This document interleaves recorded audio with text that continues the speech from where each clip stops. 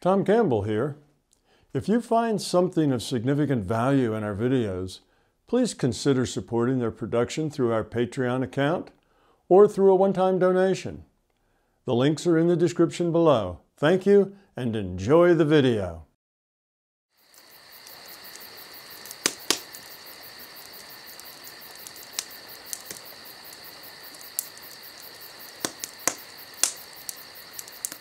All right, hello everyone, and welcome to the 84th My Big Toe Fireside Chat. My name is Adam Hashin, and as always, I'm excited and honored to be your host for today. If anyone is watching this for the first time, the Fireside Chat is an informal discussion with a focus on practical, general subjects that thousands of people may be helped from.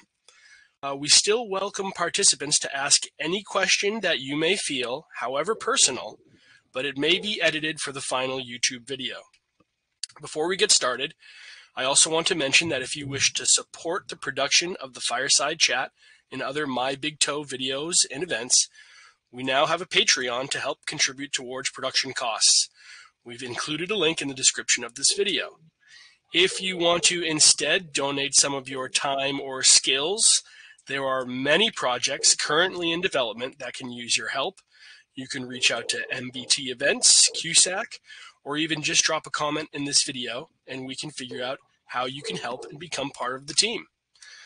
And likewise, I'd like to encourage anyone who is here on this discussion to share your personal experiences if you feel they are relevant to the topic being discussed. So everyone here, you're all participants and even though Tom does the majority of the talking and answering, uh, we'd love to hear from everyone. So uh, we have a lot of great questions and a lot of people here today. So we're hopefully we can get through everyone's questions. And we like to prioritize those who are here first. So we have a, a, a kind of a simple one to start from, uh, I believe it's from Armin. His question is regarding uh, everyday tools to get rid of fear. How can one optimize the work with reducing fears in a hectic life? So it seems like nowadays everyone's very busy, we have hectic lives. How can we practically reduce our fear while we're going through our daily life? Okay, well, that's a very good question, uh, Armand. Your your growth, your your evolution, your letting go of fear has to be something that you do on a daily basis.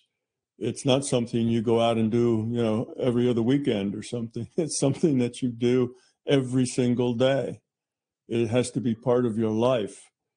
So letting go your fear should be something that you are engaged in 24 7 always you're aware of your fear. You're always aware of how that fear is bending and manipulating your choices.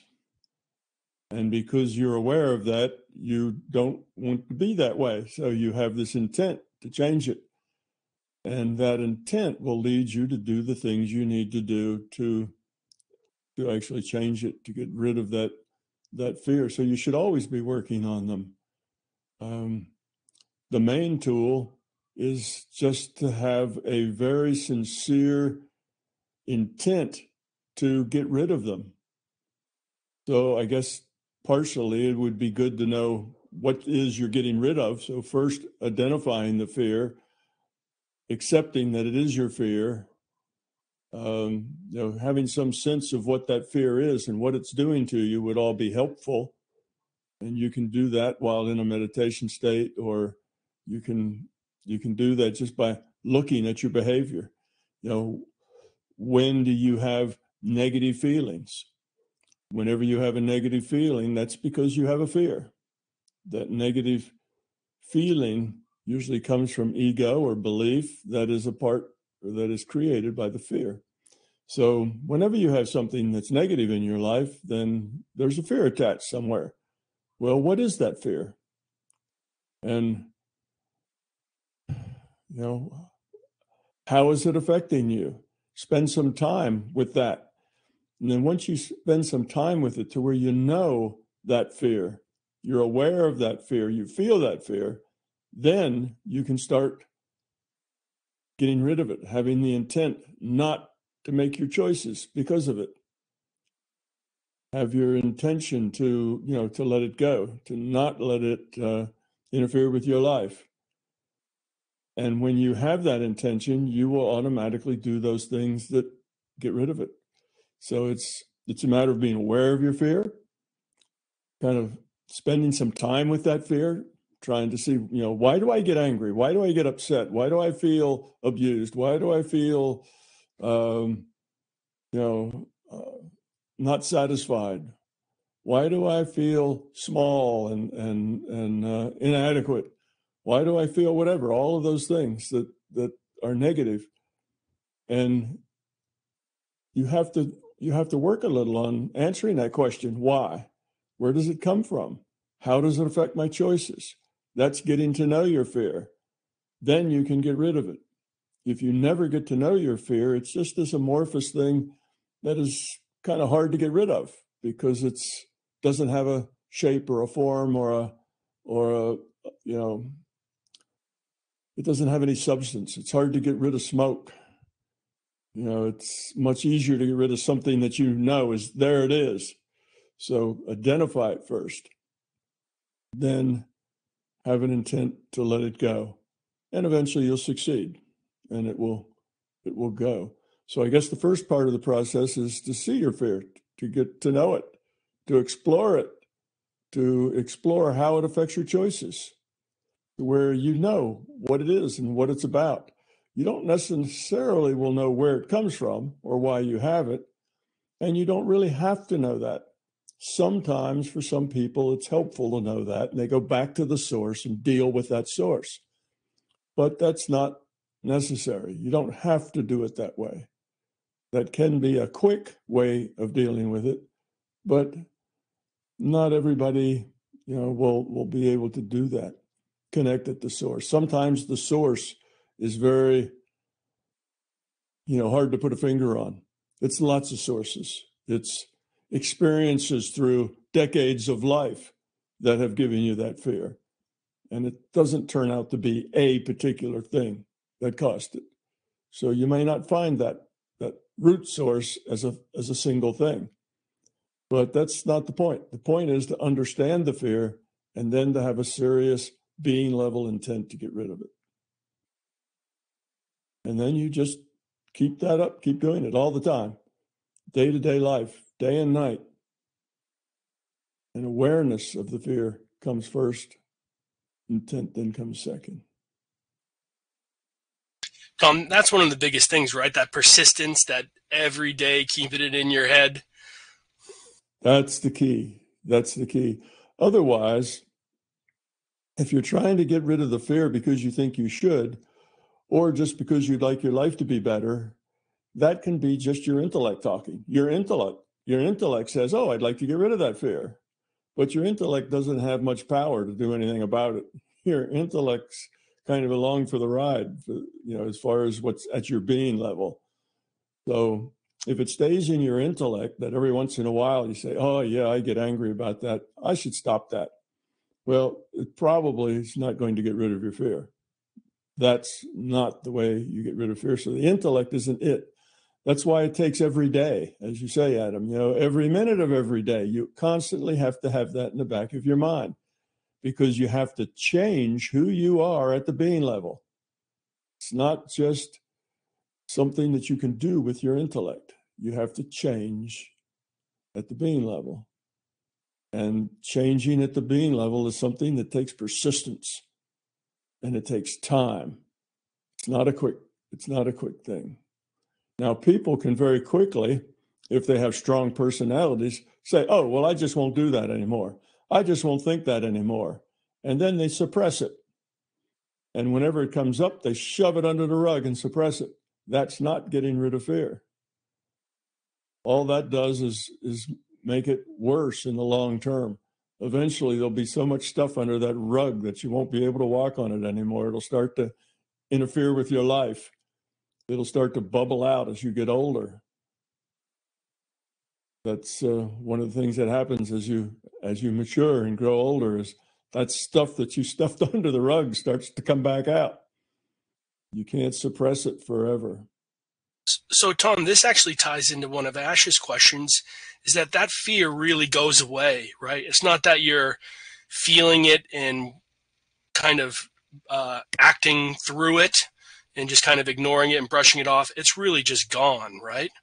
What you're trying to do is get rid of it. Absolutely. 100% completely get rid of it.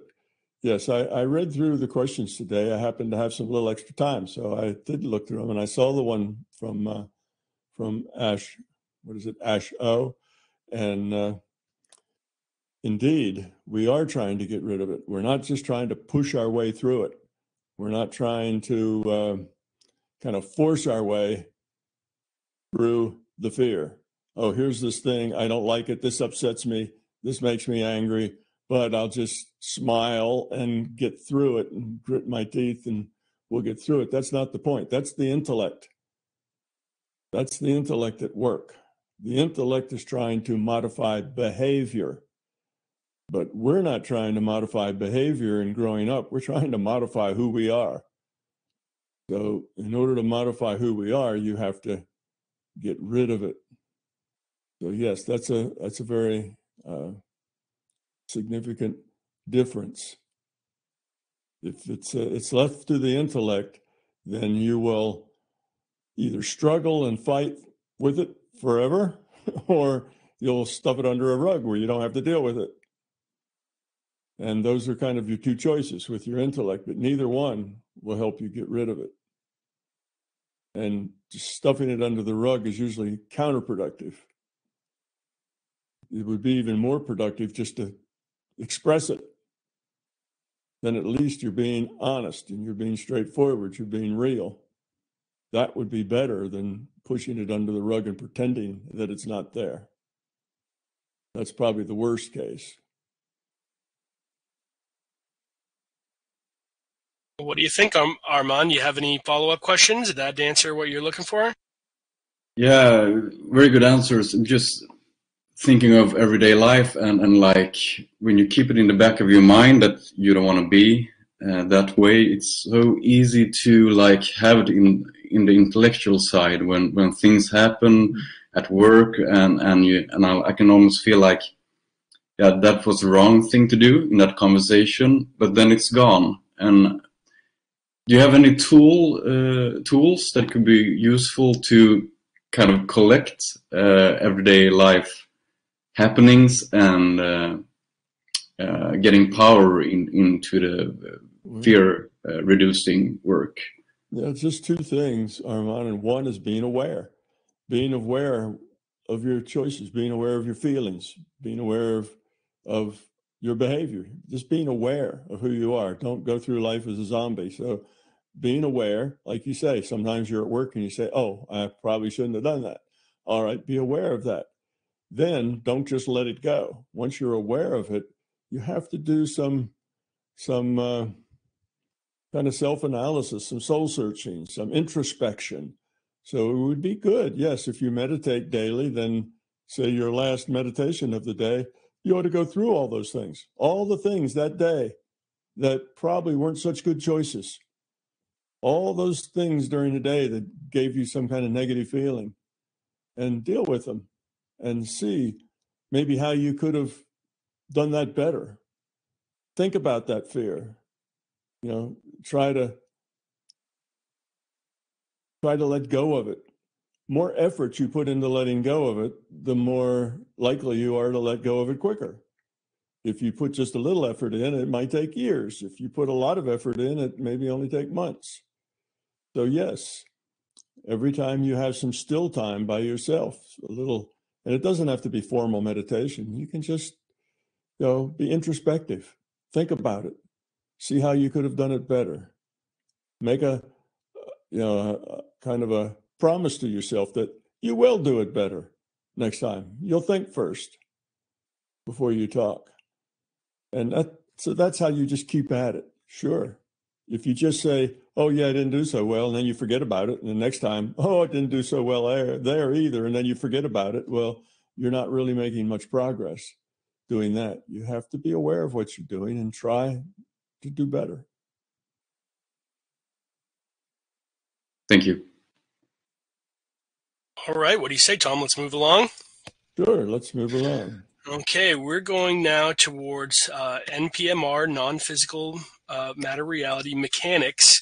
This question is from Nathan, and he wants to know how these relative time works in different reality frames. For instance, he says, could it be useful to spend one hour in another reality doing good, whether it's healing or connecting with others, communicating, um, doing that for an hour, and then it only is 10 minutes that has passed in this reality. And if you're grown up, can you create your own frames with different time clocks so that you can almost use this as a trusty tool? Well, you can always create your own your own frame. You know, you can always uh, you can always do that. So yes, time is something that comes from your own perspective. How much time has passed depends on how much change you've seen take place. You know, if we were in a it's just like motion, you know, if you're in a place that where there where there is no background, then you can't tell whether you're moving or not because the only way we discern whether we're moving is to see if the background changes relative to us. So if you get rid of the background, then you no longer can tell whether you're moving or still. With time, if you get into a place where you are very focused, very your attention is very focused on something, and if that something doesn't have a lot of change in it, Maybe you're just in point consciousness state where there's very little change, nothing going on. Then time will seem to stand still. You can be in there what seems like a long time and come back, and only five or 10 minutes have gone by. You can hardly believe it. So, time has to do with our perception of change, of things that are going on, of what's happening. So, that's one factor, just one factor. There's another factor, and that is when you are in mind space, when you're within consciousness. The speed that things take place in consciousness is much, much faster than the speed that things take place here in this physical reality. Consciousness goes at the speed of the, you know, what, the speed of your consciousness. You know, it's a much faster thing than the speed of your body or the, the speed of the physical reality.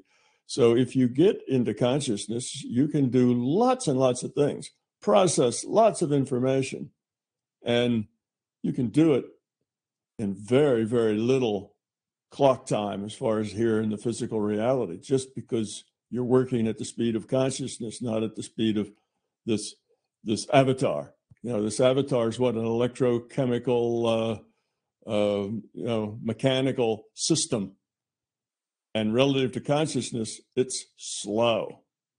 You know, it's really, really slow. So that's another thing that that that centers on time. But in our physical reality, in this virtual reality, there is a there is a clock, delta T, and it just keeps on ticking, and things just keep on marching by. If you have your focus on change, and a lot of things are changing, then you're aware of that time because you see change. If you're in mind space and things aren't happening, or they're happening at the speed of mind rather than, than the speed of uh, you know physical reality, then seems that you can get a whole lot done in a very short amount of physical time. So it's it's not like you can set up a special place where time is slow and then you can go there and work you could do that. But basically, what you're doing is you're setting up, say, a room. Okay, I go into my slow time room. Well, if you're in a room and there's nothing else in there, it's just you and white walls and they never change. Well, now everything that changes is going to be what's changing in your mind. Now you're at the speed of consciousness. and things can go really, really fast relative to what's going on uh, in the physical world. So, yes, all of those things, you know, kind of impinge on our sense of time passage. But just looking at the our physical virtual reality, that time just chugs along every delta t, and that always happens. Now, if you're really busy in the physical reality, you know, you're really working an interesting problem, and that problem really has you focused, well, hours can go by and you hardly even notice. You know, you're solving some really great problem and you're very into it, and you can look up and realize that you know three or four hours have gone by and you hardly noticed at all or if you're having a lot of fun. You're just enjoying yourself. Everything is just perfect you know? Well you know that can you know that can seem like it was a really long time because you were focused. You weren't looking at change. You were just looking at the feelings and the feelings took more time. And you may miss time there too. You may suddenly kind of snap out of it and realize that 20 minutes have gone by and you thought only a few minutes had gone by. And vice versa. If you're really, really bored, if you're doing something very, very boring, repetitious, you know, you're counting grains of rice, you know, on your table or something like that. You're licking envelopes for Christmas Christmas cards or something you know, if you're doing something like that, you could be doing it for an hour and it seems like you've been doing it all day. Then time goes the other way. So time has a lot to do with our perspective. I mean, yes, there is a, a clock and it is ticking in this physical reality, but whether it seems to go fast or slow has to do with our perception of what's going on and yes, okay, those envelopes you're looking, you know, they're going on and it's one after another and that's changed. But at the same time, it's just sameness. There's no, you know, there's nothing interesting about it. So it, it becomes a drag. And even a half an hour of doing that seems like way too long. You just have to push yourself to keep going until you get through the pile. Well, then it seems very, very slow. You know, that's uh, that's perception. So time's kind of a fluid thing for us, for we consciousness. Depends a whole lot about our perception at the time and way and what we think about what it is we're doing. What do you think, Nathan? Do you have any follow-ups for, for that? That was super informative. Thank you, Tom, because not only did you explain the mechanics and the perception aspects, but my takeaway too, if I'm hearing right, is just keep growing up and the maximal efficiency of time will just sort of happen spontaneously as I grow up, as we all grow up, because a tool like creating a room and going in there, all that will be, if anything, just getting in the way, just letting letting the growth then optimize somehow spontaneously our time. Because my whole intent was like, oh, I want to want to be able to really squeeze the juice out of time. You know, how do I really Uh-huh. get the most bang for buck here? And and so it sounds like that'll just happen when we grow up. Absolutely. It just happens. Make the best choices you can as you go. Stay present in the moment. Don't live as a zombie. And uh, time will take care of itself. Efficiency of process will also take care of itself. All right. Let's uh we're going to keep on this um, topic of NPMR mechanics. And this next question is from Scott C. And it's basically about the psi uncertainty principle and the miraculous. You know, all there's been many stories through time of yogis doing miraculous feats, um, staying alive for a long time, uh, much longer than humans are supposed to. I mean, we've heard stories all throughout time of these miracles and bending the rules. And he's wondering what what's really going on there. Are you really able to bend the rules? Could these could there be uh, truth to these stories of Moses parting the sea and um, all kinds of fantastic stories that we've read about in the past? You know, is there any truth to these stories if there was perhaps a less active psi uncertainty principle during that time? Well, there could be, you know, or they could be metaphors, you know, or it, it could be either way. You know, if we look at history so far back that we don't have any people around who were there as, you know, as firsthand witnesses, then it could be metaphoric or it could have actually happened because you know, rules can be broken. They're not broken all the time, or they wouldn't be rules. uh, what makes them a rule is that they have to be followed. That kind of defines the rule. But you can uh, break rules, you know, and we're talking about rules in the rule set. So that's what defines the physical reality. So we're talking about the physical reality. Now, in a way, you're breaking rules of the physical reality just by doing things that don't have anything to do with the physical reality. They only have to do with consciousness. So when you remote view, in a way, you're breaking the rules in that you're getting information that there's no physical way you could have gotten it.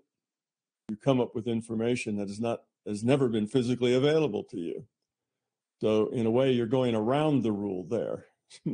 more, I guess, than breaking it, you know, rather than saying you can only know those things that you have physically interacted with, then consciousness can slip right around that rule and know things that you've never been physically uh, connected to. So that's that's one thing. But you're also talking about breaking the the rule set rules, the rules of this physical reality. So you do things that that uh, shouldn't be able to be done physically. Well, you know, we see people who put a put a little uh, piece of paper on a and put a pin through it so that it's you know it's it's easy to turn. And then sometimes they'll put a glass jar over it so that you can't have air blowing it around. And then they'll use their intent to make it spin. Have you ever seen those? You can you can see those little experiments uh, on YouTube pretty easily if you if you look for uh, uh, what would you look for? Um, psychokinesis I guess or telekinesis okay? And they're not too hard to do. You can do those sorts of experiments. So in a way that's breaking the rule set The thing should just sit there. It shouldn't spin. Well how does it spin? Well the reason it spins is because your your consciousness and you can modify future probability with your intent. And inside under that little glass jar that's over top that that that thing that can spin easily there is air in there.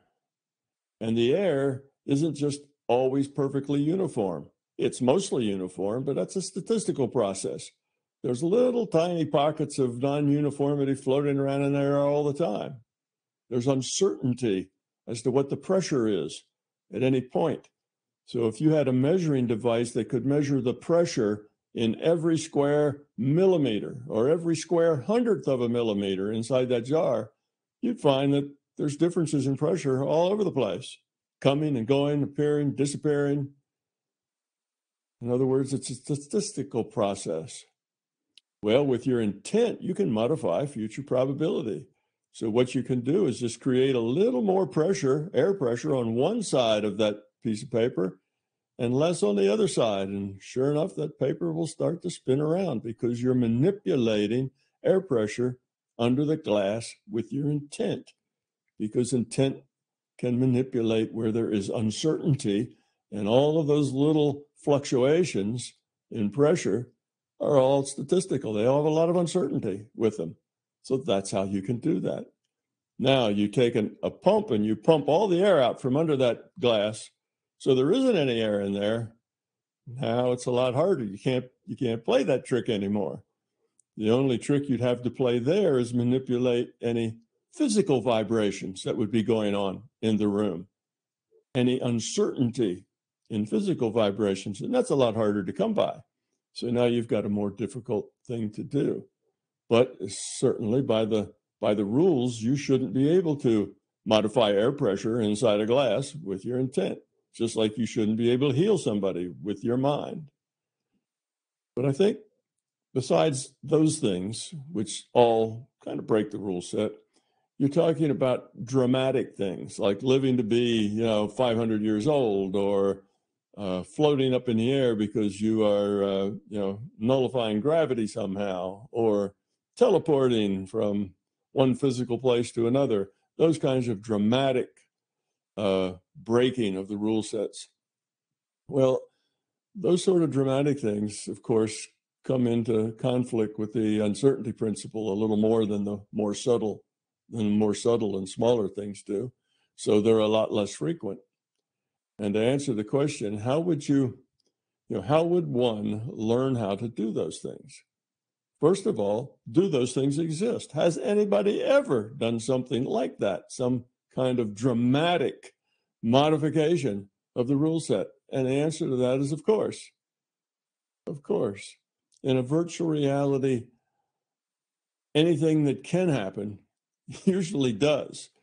Now, it may not happen a lot, it may be exceedingly rare, but anything can happen in a virtual reality. Okay. Now, let's say you want to have two bodies. You want to have one body here, being you, and at the same time, you'd like to be visiting your cousin in Japan. So here you are you know, at the fireside chat, having a chat, but you'd also like to be visiting your your friend in Japan with a body. You know, you have body two places. Well, could you do that? Well, how would you do that? First, you'd have to have a really good relationship with the LCS because the LCS would have to put data in the data stream to your friend in Japan that made you a physical being there. So it's not something you're going to do on your own. It's not something you're just going to say, oh, I'll just split in half and one of them will appear over in Japan because this is a virtual reality and you'd have to get the system to render you, put you in the data stream there. If the system doesn't want to play, you can't do it. If the system does want to play, it's not all that hard. You see?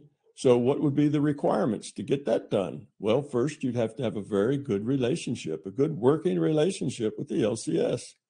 How would you get that? By growing up, by getting rid of your fear, by being a very low entropy individual. Now, you and the LCS would probably be on everyday terms, probably interact a lot. Maybe it would, if it thought that it was somehow for the benefit of people's growth, it may just put somebody else in a data stream or put you in that data stream two or three times. Why would it do that?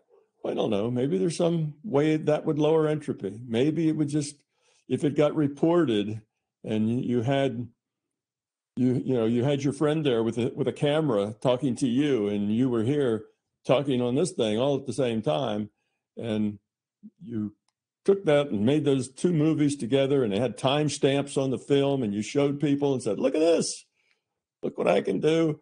Well, that might open a lot of minds, but not too many because most people would say, ah, nonsense. you know, anybody could put anything, you know, in film. You know, I've seen pigs fly in films. You know, that's uh, anything could happen. They could they could change those timestamps or do whatever. It doesn't mean a thing. So most people wouldn't be uh, wouldn't be uh, uh, willing to believe that it was true. So the psi uncertainty principle probably wouldn't be a big problem because most people would blow it off anyway. So maybe you could do that, but you first have to have a good working relationship, which means you'd have to be a very low entropy being to do that. Now, what about uh, um, you know levitating? Well, if you wanted to work on that so that uh, you know that was something you wanted to do that doesn't require the lcs really to necessarily do that well it would have to cooperate with you because it would have to put that in the data stream that you were levitated and there wasn't anything holding you up. But uh, that would be a simpler thing to do. You'd have to also be a very low entropy being so that you could put that much intent over modifying future probability so that maybe all that, that same little air that was moving that paper around under that, that glass, you know, that, that glass uh, cover, maybe it would be all that, that air would change and you'd have higher pressure behind under you and lower pressure above you. And maybe you'd just be floating up there in a pressure differential that you created with your intent, you know, in the same way. Perhaps. So you see, there's lots of ways that we can perhaps do things that are breaking the rule set. But it requires a very well developed intuitive side and a very low entropy to do things like that. Your mind would have to be very focused. You, you would have to have a very strong, powerful intent without any noise, with, with utmost clarity. And again, if you were just trying to impress your friends, it probably wouldn't work because that would be an ego thing. And if you had that much ego, well, your entropy probably wouldn't be low enough to do it. And if your entropy was low enough to do it, you probably really would care to do it. It wouldn't be anything that you really would feel would be significant. So you would never do it. Unless, of course, you just wanted to prove to yourself that you could. And that's mainly the way we we hear about these strange things. Somebody does it just to prove to themselves that they can. And maybe they show a couple of friends or whatever just to demonstrate that it's possible. And then that's it, because there's really not a lot of point in it. You see, unless you have a really big ego and you know you want to, you know, show off, but then you wouldn't be able to do it in the first place. So that's why we have these little glimpses into these miracle kind of things that break the rule set, but then they sort of disappear and they're not, you know, it's not that somebody, uh, you know, does something really, really dramatic, you know, when all the news cameras are running, you know, that doesn't really happen because that takes a pretty big ego to want to do that. You know, it's not really going to help people grow up any. Even if you get, you know, a million people to go, oh, wow, gee whiz, look at that. That's not going to help them grow up they're just going to say, wow, reality's strange. And maybe that's a good step forward, but it's not that big a deal. So that's why these things just seem to happen occasionally with certain people sometimes, and then they just disappear because the people that might be able to do that really aren't interested unless it's just for themselves. And then they're not interested really in showing it off or demonstrating because that's all ego based. But yes, it's possible. So, Tom, it sounds like I won't be able to send a copy of myself to work anytime soon, right? or you know, ten copies of yourself, all the different jobs, and then uh, bring, in, bring in 10, 10 salaries. Yes. Perfect. I like the way you're thinking. Uh, Peter, you had a follow up question about modifying future probability. I think this is a perfect time to ask about it. Yes, it's uh, funny how that happens. Um, hey, Tom, good to see you. Good to see you, Peter. And the question really, I'm sorry, I got my dog gone down. Good boy. Uh, the question is when we're talking about modifying future probability using a really focused intent, and we're operating out of inanimate um, objects where the rule set can be subject to statistical probability, like the airflow experiment, for example. Mm-hmm. When we use intent to look at outcomes. A lot of people focusing on visualization of, of goals, dreams, desires, that kind of thing. And a lot of the way that they manifest in some ways has to do with other people, other players in the game having played certain roles or mm-hmm. interacted. My point being, when you bring in something outside of an inanimate rule set and you start bringing in people that then are subject to free will who seem to have played a role in supporting that, is it down to them being kind of freewheeling and therefore being um, subject to a, a, higher level of coherence that you're broadcasting? If they're kind of in the, the default film extra role in your movie, uh, uh, or how, how would that work? Or is there a little bit more depth if I'm explaining that right? Yeah. No, it does work. You do uh, affect other people. You know, if you have, let's say, like uh, my friend Dennis Mennerick, uh, he would he would always uh, create a parking place for himself, uh, and we worked in a building that was just downtown, which means there was no place to park, and he would be very successful. That when he got there, just as he got there, somebody would back the car out because if they backed it out 30 seconds earlier, somebody else that was cruising around looking for a parking place would get it. So he got to where he was about 80 to 90% effective in having a parking place for him when he needed one. So, of course, that had to affect other people. So, what he was doing was changing the probabilities of the way things work. So we talk about uncertainty, right? The reason that the airflow thing worked was because there's uncertainty in, you know, the pressure in that air at the small at a small level. Okay, well there's uncertainty in what people might do. There's lots of uncertainty there. So there's somebody who's in one of those office buildings downtown there and they're thinking that uh, they should uh, they they need to leave now and go home because they're expecting you know somebody to visit. So they they need to go home.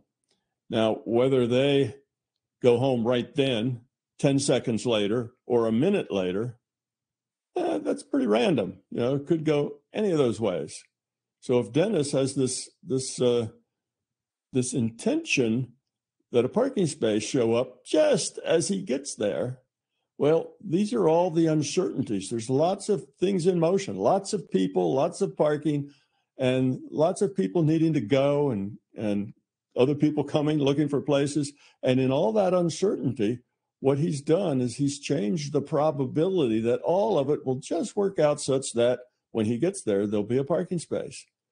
So it does affect the choices that other people make. So his intention may make somebody say, oh, gee, I didn't know it was this late. I better run out and get in my car and, and go home. And just as they do, is when Dennis pulls up. So the system, the probabilities change. And as those probabilities change, it affects the whole system around you. You know, if, when you when you think, when you use your intention, it's not just a, you know, a precise line that just affects that thing if there's multiple things at play, it affects everybody. And people have nudges. You might call them nudges, but it's not so much that somebody's giving them a nudge. Oh, you, you need to go home now. That the system's out there giving people nudges to help Dennis get a parking spot. It doesn't work like that. But it's just that the probabilities change in such a way that Dennis will get that spot. And those probability changes are just all over. So people will will feel, I guess, that gradient. Maybe you think it that way. There's a there's kind of a gradient that makes up a person's mind, whether it's time to leave and go get in their car. And that gradient, if it's a little steeper, they'll go there a little sooner. That gradient is a little flatter, there may be dally around and you know do something else. So Dennis's intent changes those gradients a little bit. Doesn't force people to do anything. They can do whatever they please. They have free will. They don't have to do anything. But in as much as they're kind of on automatic, just kind of doing what feels right, then that could, you know, that gradient's now a little steeper.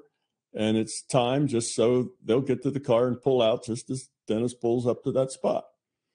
So yes, it does affect others. It affects all sorts of things, particularly if you if you uh, you know of what you want or what you're trying to manifest can only take place with a whole lot of people and things involved in it you know it's got a lot of structure well that'll take more energy because you've you've you changed things but yes that's that does work that way you do affect other people not by forcing them to do something but by just making it easier for them to do it this way rather than that way. And you know, that works. You know, that that basically is is a field, you know, I talk about all these gradients that kind of help you slide one way or another. Well, you know, that happens all the time. You know, when there's a when there's a crowd forming and the the uh, the police come in and say, "All right, everybody disperse." You know, everybody has to leave now. Well, that increases the gradient for people leaving. people start thinking about leaving when they get that. And it's not just that they intellectually get the words that it's time to leave now, and it's an, an intellectual process. At an intuitive level, they're also getting that thought that sticking around may not be such a good idea. You know, this maybe there's going to be some violence here or something else that I really don't want to get involved in. So they pick that up on an intuitive level. And on that intuitive level, people then start to walk off. Not just because they intellectually process the words and are obedient, but because they've got this sense of maybe it would be a good thing to do to go elsewhere. And if you think, you know, you think of how words and things affect how people think, you know, if, uh, or even the weather, you know, when it's been raining for three days, you know, it changes people's mindsets, it changes their, their moods, it changes how they approach life, you know, as opposed to whether it's a sunny day or so on. So there's just lots of things happen in our environment. One of the things that is really creating a lot of problems now in our in our culture and in the world in general is that there's so much fear in the world. So much fear out there. And because there's so much fear out there, guess what? It's easier for us to be fearful because there's so much fear out there. You know, that's the that's the collective consciousness connection. And in a collective consciousness, you affect it a little because you're just one person among a large collective, but it affects you more because you're just, you know, you're a member of that collective consciousness. So, yes, we are affected by other people's thoughts. You know, it, it comes to mind that uh, some years ago I was reading about, uh, you know, all the people that worked at IBM, you know, and they all had to wear blue shirts and this and that and the other and people would come in and they wouldn't buy into that. They'd be wearing their white shirt and their khaki pants or whatever. But, you know, six months later, a year later, and they're still working there, guess what? They started to wear blue shirts because everybody else did. You know, so what other people think affects your mind and affects how you think and affects the choices you make. So it's not that there's determinism out there and that, that Dennis is somehow forcing people to give him a parking space. He's just changing the probability such that it's more likely that all of that random stuff out there will end up with him having a parking space. And that does affect other people.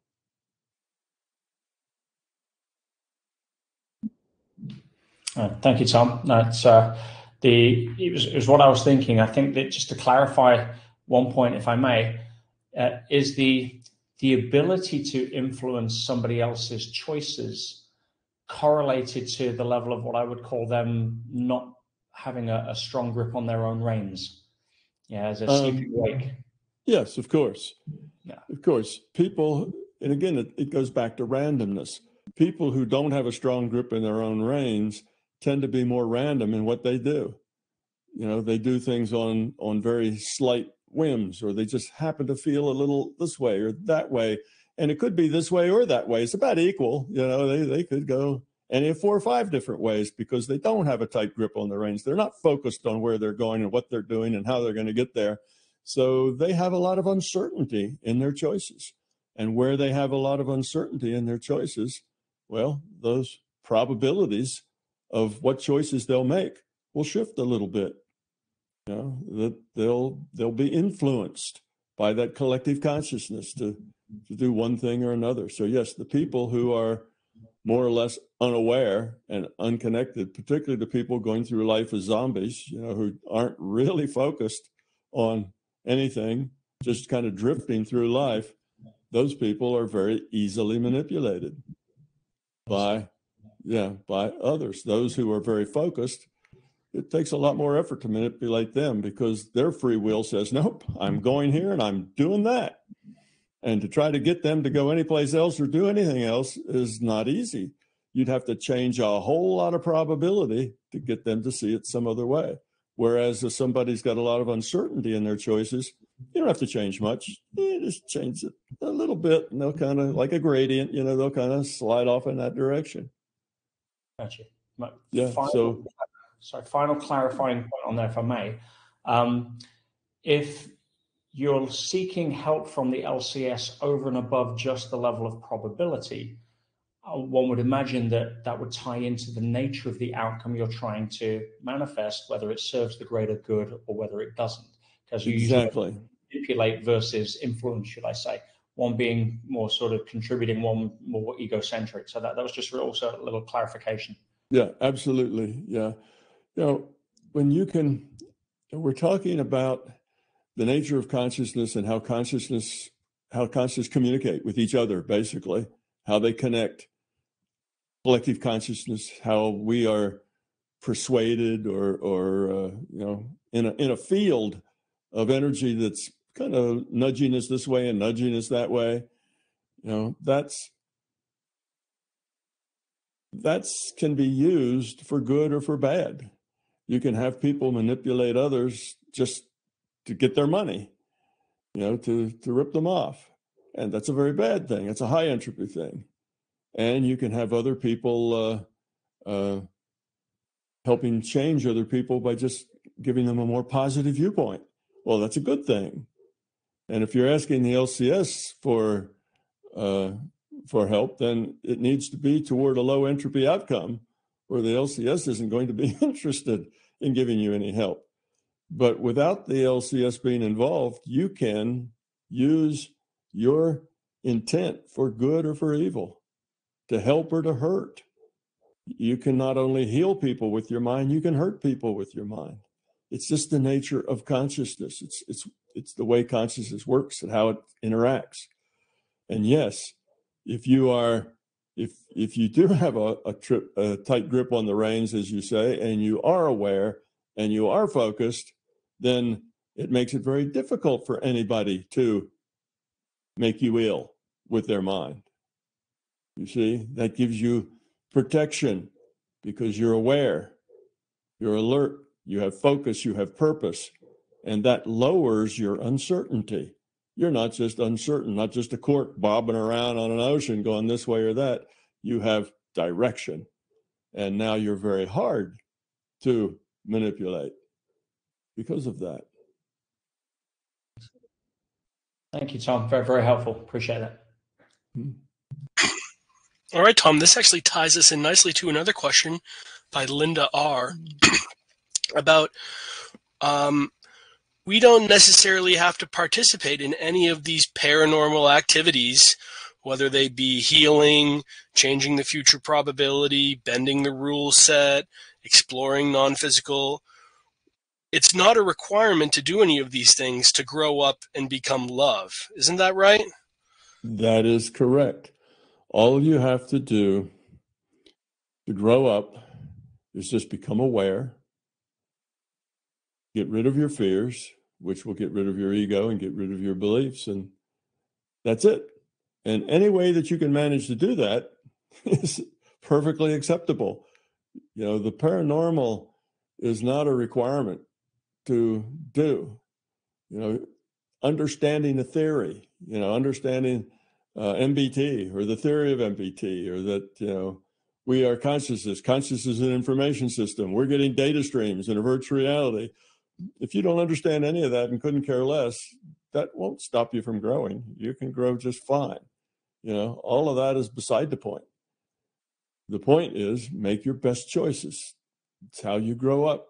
You make the best choice you can, and you make those choices with thought thinking about the choice. What is the low entropy choice? And after you've thought about it, you make it, and then you learn from the consequences of that choice. And then you make another choice, and you keep trying to make your choices better and better. So that's growing up. And if you do that, you don't ever have to meditate. You don't ever have to do anything paranormal. You uh, just have to do that. That's that's all. You know, growing up is getting rid of fear. And however you do that, that's going to make you grow up. So people like to play with the paranormal because that exercises their intuitive side. That requires their intellectual side to sit down and be quiet and just let them experience. And that is very helpful in seeing bigger pictures. Because once your intuitive side opens up, you realize that you're just a very small speck in a very big system.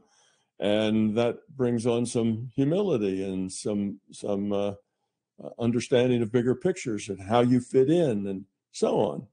So doing the paranormal things is often an exercise to help you develop that intuitive side at the being, you know, help develop that awareness at the being level. And that's all.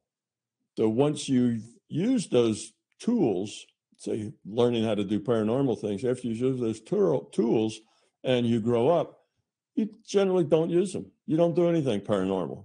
You don't want to. You know, you don't. There's no point in it. It was just a tool you used to develop your intuitive being level, your awareness at the being level. So, some people take a path through the paranormal to develop themselves spiritually, but it's totally unnecessary. There are other tools that uh, may work better for some people. You know, tools are a personal preference, what tools you use. And if the paranormal just isn't that pretty little flower that just is, is enticing you to come learn and come experience, that's all right. It's it's not really important at all. Um, just be, be authentic, be real, learn how to live in your intuitive side as well as your intellectual side and then you'll you'll begin to live in a bigger picture it's just really that sounds very simple it's not necessarily that simple a thing to do changing yourself is a takes a lot of work but yeah paranormal is no no prerequisite to doing anything all right great um, Vanessa, I know Vanessa has a question for us. I don't see her here, but I think she's here and ready. Vanessa, are you here? Yes, I am here. Hi. Hey. hey, hey. All right. Go ahead and ask your question. Thank you, Adam. Uh, hi, Tom. Nice to see you. Good to see you, Vanessa. Nice to see everybody. I'm really happy to be here. I love this community. It's so great to uh, to connect, and I miss everybody. I wish we could connect in person again and give hugs, but uh, one day, one day. um, so, what's my question? Let's see. My question is okay. I, Tom, I've heard you speak to psychedelics, uh, and I've heard you say that no, they're not good, or I mean, generally, it's not it can be a slippery slope because um, psychedelics basically blast you out and give you this experience. And oftentimes, it's such an interesting experience that you then turn to psychedelics again and you kind of create this crutch with psychedelics. And so, hearing you speak to psychedelics, I've I've been um, avoiding them for the last like five to seven years since I've come across your work. Um, even though a lot of my friends explore with psychedelics, and so I keep hearing about it, but I'm like, no, no, no. Tom says it's not good. I'm not going to do it. I'm not going to do it. Um, but uh, a few months ago, I ended up uh, exploring psychedelics, and um, it really opened me up. And and I think my intention for for exploring psychedelics was that I've come to so many of um, so many different you know uh, immersives and like out of body workshops and you know, my story is that I'm like, I got nothing. Like I never get out of body. I'm just sitting there and I'm like, yeah, I don't I don't see other realities or anything. And so for me, I'm like, okay, psychedelics, like I'll be able to explore other mm-hmm. realities. But the thing is, I don't really get that either. So I, I get more intense experiences, but I don't. So it goes back to what you told me a long time ago was Vanessa, you have expectations and it's not you know it's not working the way that you think it should. You're not blasted into a different reality. So therefore um, you need to let go of your expectations. So i i totally see that now especially with psychedelics because i'm still not getting what i'm hoping to get which is like going to a new reality frame and interacting with different beings and entities. Like that never happens to me so my question then is um, how does one just let go of expectations well, what you really have to let go of there, Vanessa, is your intellect.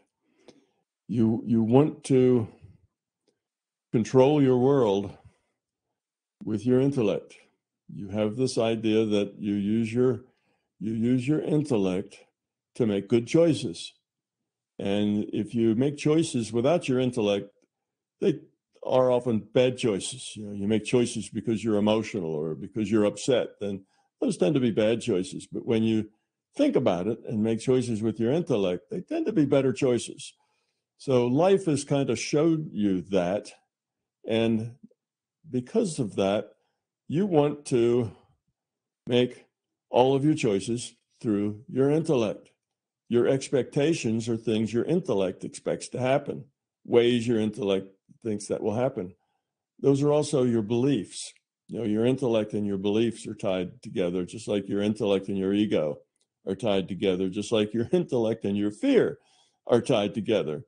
So, because of your things you've read, people you've talked to, you know, you've heard other people talk about their experiences, and you want to have experiences like that. So, when you have an experience like that, you'll feel like, ah, I've done it. I'm there. I had experience, just like what all the people are talking about. Mm-hmm. But you have to have your own experience. It won't be like other people's experience. It may be similar in some ways, but it's going to, it has to be your own. It has to be your own, and you have to just let it happen. It's nothing you can do. You can't make it happen. Well, I guess it can if you take those drugs. You took drugs and something happened, but evidently it really wasn't what you wanted to happen. It was something else happened. You no doubt got, you know, uh, your your awareness shifted when you took the drugs. You were no longer in the same mindset. Your reality probably shifted and all those things. But when you were done, you didn't really feel like you had gained anything terribly important. It was just a different experience. It wasn't something that really helped you grow up, which is the problem with drugs. You don't lower your entropy by taking a drug, it doesn't help you grow up any. Um, mostly the point of doing paranormal things like going out of body is because you're trying to grow up. So, you know, the drugs don't really help you grow up. They help you have an experience, but you don't grow up because of an experience. You grow up because you change who you are, because you let go of fear. That's how you grow up. The only value that the paranormal has in it is that it expands your sense of what's possible.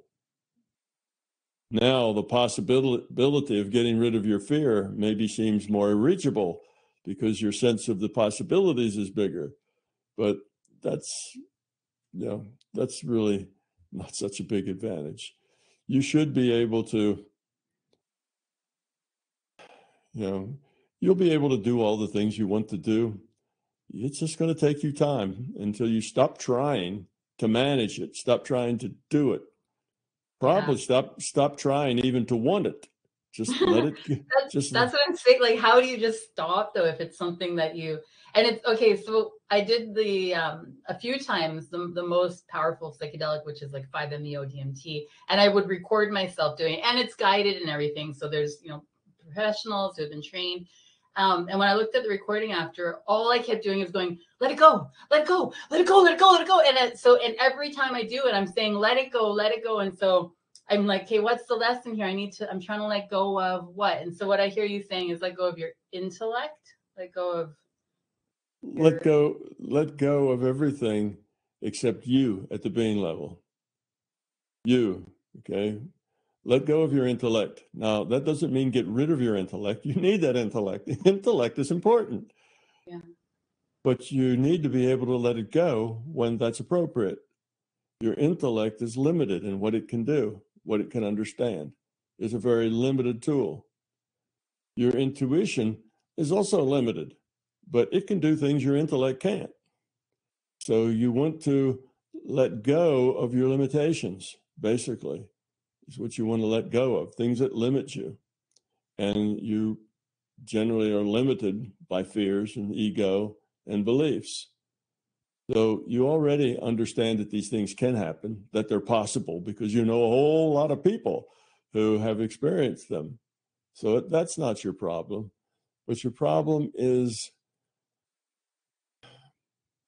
probably at a at a deep level, Vanessa, you don't feel like you can really do this stuff. You think it maybe is beyond you, that you're inadequate to the task, that it's it's something that's going to be difficult for you. So that lack of of confidence, that lack of of uh, uh, what can I call it? Uh, that that being unsure of yourself. That's probably what gets in your way more than anything else, because at a very deep level, you don't really think all that highly of yourself and your capabilities. You have a you have a sense of I'm not really all that much, and you that limits you. That So limits as- you. As I let go of my fear, so it's coming back to my fear of inadequacy again. It always comes back to that, and it's so frustrating because I feel like I'm growing up and I'm shedding some of that inadequacy Well- fear, but obviously not enough. So what you're saying is, once I let go of more fear of inadequacy, then I'll be able to go and explore out of body states. Yeah, and that'll just happen as you get older. That'll just happen with time. Now you can make it happen more quickly by really having an intent to do that. You know, we talked about fear when we started this session. You know, just keeping that in your mind, you know, trying to get rid of the fears, just being who you are, accepting yourself as who you are. And uh, all of those things can help it go faster, but typically those things come with more experience. You're still young. You're still young, Vanessa. You still have a long time to go. Thank you. Hey, Vanessa, I'm wondering, have you tried out Tom's Park yet? Yeah, I, I have. I have. Yeah, so that- that- that's one way that maybe will help you, but it's not a one-time thing. You have to use it over and over and over very consistently, and your ability to work in the intuitive level will just grow with with experience in Tom's Park. So that's a good mm-hmm. tool to use. But don't expect the first and second or third time that you know for miracles to happen. It's not like that. You have to do it enough so often that it becomes second nature. It becomes easy. And then it becomes easy to let the intellect go and just go on with your experience because you've done it so many times. Hmm. So that's that's a good place to start. Just let it happen. And when it starts to happen, don't say, "Oh, is it happening? Am I doing it?" Because that makes it not happen. That just stops it cold in its tracks. Yeah, I've You experienced just- that before. Yeah, you just have to have the experience. Let it mm-hmm. flow as it does. Say, I'm not going to judge this experience, whether it's, you know, smart or stupid or real or not real or whatever. I'm not going to judge it. I'm just going to have the experience and then have another experience and another experience. And by the time you've having your 20th or 30th or 50th experience, you'll find that the whole sense of it changes Hmm, and it'll start to turn into something else. So, yeah, Okay. Tom's Park would be a good way to to get past this uh, limitation that you put on yourself. Okay. Thank you. I will I will check out Tom's. I'll see y'all at Tom's Park then. Thanks, Tom.